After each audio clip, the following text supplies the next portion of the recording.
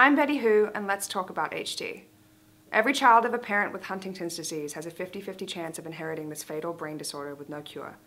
Please visit hdsa.org to find out more about Huntington's disease or how to get involved.